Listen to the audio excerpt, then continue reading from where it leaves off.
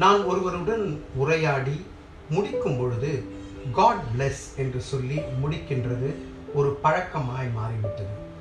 எப்படி அந்த பழக்கம் வந்தது என்று நான் சிந்தித்து பார்ப்பேனே ஆனால் எங்கள் அப்பா என்னிடத்திலே பேசி கடைசியாய் சொன்ன வார்த்தைகள் காட் பிளெஸ் என்று சொல்லி என்னை ஆசீர்வதித்தார். அதற்கு பிறகு அடுத்த முறை நான் அவரை சந்திக்கும்போது அவர் மறித்தவராய் நான் சந்தித்தேன்.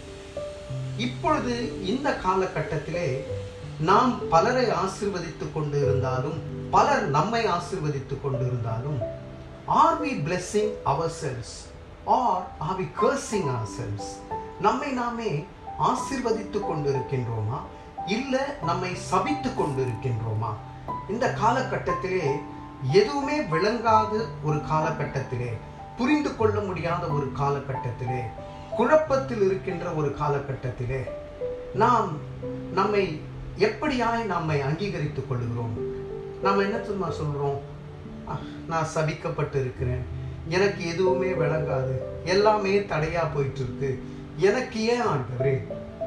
என்று சொல்லி நம்மை நாமே இகழ்ந்து கொண்டிருக்கின்றோம். ஆனால் ஆண்டவர் சொல்லுகிறார் பிளஸ் யோர் செல்ஃப் எங்கெங்க அப்படி சொல்றாரு?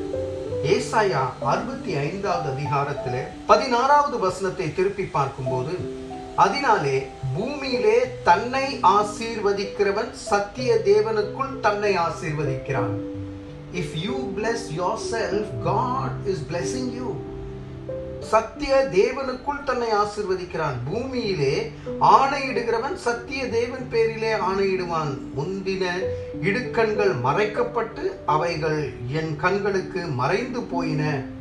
எத்தனை தடங்கல்கள். இடுக்கண்கள் எல்லாம் மறைக்கப்பட்டு ஆண்டவருடைய கண்களுக்கு அது மறைந்து போய் God will bless you if you bless your yourself. So he is teaching us இந்த காலையில் அவர் சொல்கிறாரு இது பாசிட்டிவ் மெசேஜ் காலையில் மோட்டிவேஷ்னல் மெசேஜ்க்காக வரவில்லை. ஆண்டவருடைய வார்த்தையை உங்களோடு பகிர்ந்து கொள்வதற்காக. டெய்லி பார்க்கும்போது நான் இந்த தம் நெயில்னு சொல்லுவோம். அந்த கார்டு மாதிரி ஒன்று போடுறேன் பாருங்கள் அது பேர் தம்னெயில் அந்த தம்னெயில பார்க்கும்போது ஸ்டேட்டஸ் மெசேஜ்னு போட்ட தம்னெயில் பார்த்தீங்கன்னா ஒரு முப்பத்தி ஒம்பது நாற்பது வியூஸ் போயிருக்கும். நிறைய பேர் ஷேர் பண்ணுறாங்க ஆனால் அந்த தம்பியில் ஜீசஸ் வெப்ட்னு போட்ட பாருங்க இதை யாரா ஷேர் பண்ணுறது அதனுடைய வியூஸ் பார்த்தா குறைவாக இருக்கும். ஏன்னா நம்ம செலக்டிவாக ஆண்டவருடைய வார்த்தையை நம்ம எடுத்துக்கொள்கிறோம். இன்னைக்கு ஆண்டவர் சொல்லுகிறார் if you want to be a blessing then you have to bless yourself first. அப்பொழுதுதான் முந்தின இடுக்கண்கள் மறைக்கப்பட்டு அவைகள் கண்களுக்கு மறைந்து போயின என்று சொல்லுகிறார். அதற்கப்புறமா ஒரு தீர்க்க தரிசனமாய் ஏசாயா அறுபத்தி ஐந்தாவது அதிகாரம் பதினேழாவது வசனத்திலே சொல்லப்படுகிற வசனம் இதோ நான் புதிய வானத்தையும் புதிய பூமியும் சிருஷ்டிக்கிறேன் என்று.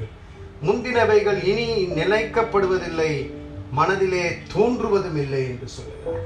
இன்னைக்கு God is cleaning is cleaning this world இந்த கண்ணுக்கு தெரியாத கிருமியை அனுமதித்து ஆண்டவர் சுத்தம் செய்து கொண்டிருக்கிறார். உடம்ப சுத்தம் பண்றாரு அவங்க கையை சுத்தம் பண்றாங்க முகத்தை சுத்தம் பண்றாங்க உலகத்தையே சுத்தம் பண்ணக்கூடிய ஒரு சூழ்நிலை புதிய வானம் புதிய பூமி. இது எங்கேயோ படிச்சிருக்கோமே. வெளிப்படுத்தின விசேஷம் இருபத்தி ஓராவது அதிகாரம் முதலாவது வசனத்திலே இதே வசனம் வருகிறதை பார்க்கிறோம் அதை அதற்கு முன்பதாக தீர்க்க தரிசனமாய் சொல்லப்படக்கூடிய வசனம் தான் இதோ நான் புதிய வானத்தையும் புதிய பூமியையும் சிருஷ்டிக்க போகிறேன். முந்தினவைகள் அல்ல. முந்தினவைகளை மறந்து போய் விடுகிறேன் என்று சொல்லி. அப்ப நான் என்ன பண்ணணும்? From today I have decided to bless myself bless others that is required but bless myself ஆண்டவர் சொல்லுகிறதை போல தன்னை ஆசிர்வதிக்கிறவன் சத்திய தேவனுக்குள்ளாக தன்னை ஆசிர்வதிக்கிறான் என்ற நிச்சயத்தோடு இந்த நாளை ஆரம்பிப்போம்.